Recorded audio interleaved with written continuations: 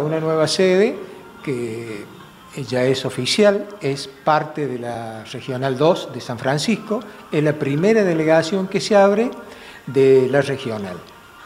Después vendrán las otras sucesivamente, pero Arroyito, gracias a los años que estuvo peleando con esto y en forma, digamos, no oficial, bueno, tuvo su premio con una delegación ya oficial y funcionando. Eh, es un lugar importante para brindar asesoramiento, encuentro entre, entre los colegas arquitectos, ¿no?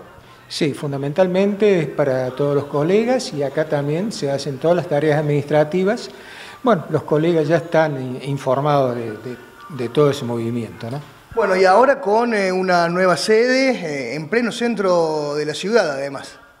Sí, la idea es que sea un lugar accesible, cómodo para todos los profesionales que lo sientan como propio, porque la idea es que tengamos un aporte de todos nosotros para la comunidad, para lo que sea necesario, eh, en pos del crecimiento de la misma.